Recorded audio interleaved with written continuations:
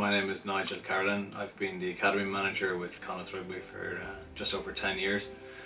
Um, and I suppose during that time I've seen sort of many changes in, you know, I suppose, the, the demands that are upon players and, um, and also in the game. And, and as such we've had to sort of adapt uh, how our programs are run, how we identify players and uh, and how we sort of try and hone players then to be um, to be successful in the professional game. This is getting ridiculous.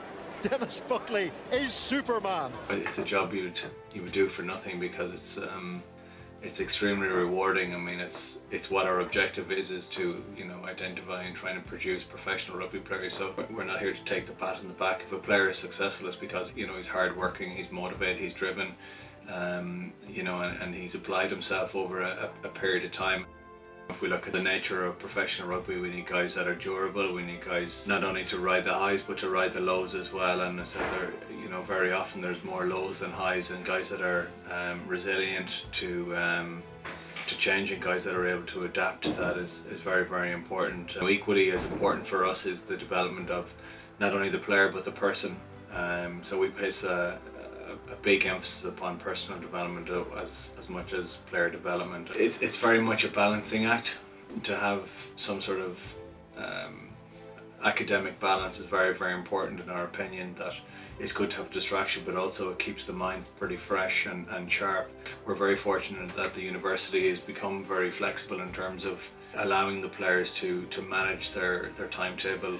You know, they train with us um, twice a day and uh, from physical development, skill development, uh, personal development program. So it does place, you know, a, a, lot of emphasis on their on their time commitments, and uh, I think the player who has the balance and who is able to um, um, juggle the two um, effectively tends to be the guys who can, you know, are, are more successful.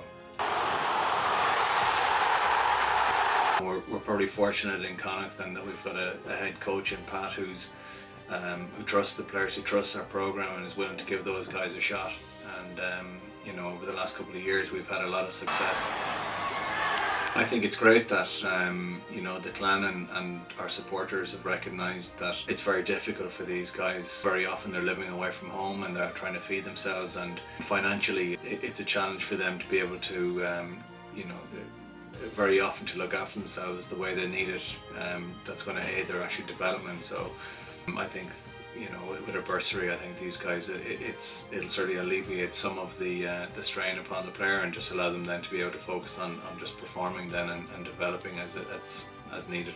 You know, in, you know in their pursuit of um, a professional rugby contract.